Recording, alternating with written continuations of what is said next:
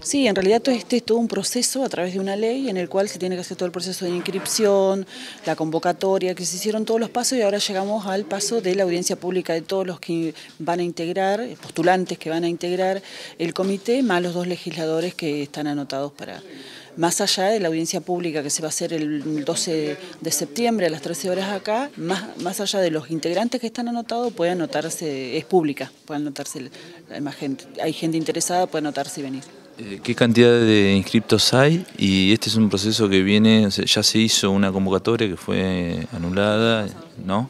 Este, entonces repetimos la fecha, el lugar y los inscriptos y quiénes pueden participar. Ya, está, ya hubo un proceso el año pasado en el cual hubieron impugnaciones, en el cual no se completó el, comité con los integrantes. Entonces ahora se volvió enseguida a volver a hacer otra convocatoria y ahora hay nueve integrantes en el cual van a poder integrar seis de esas organizaciones que representan a organizaciones, van a poder integrar seis, el comité más los dos legisladores. Y eh, quien puede participar en audiencia pública, todo el que quiera puede participar en la audiencia pública. Ya está cerrada la inscripción al comité porque ya están los, los inscriptos que son nueve, nueve más los dos legisladores. Y va a ser el próximo, nuevamente, 12 de septiembre a las 13 horas acá en la legislatura en el cuarto piso. Muchas gracias. Gracias